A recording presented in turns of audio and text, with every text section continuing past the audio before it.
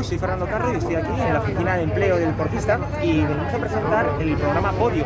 Ha nacido hoy eh, a través de la Fundación Madrid por el Deporte y nuestra intención es eh, que este programa vaya orientado a todos esos deportistas que están en activo y todos esos deportistas que están terminando su carrera deportiva en estos momentos.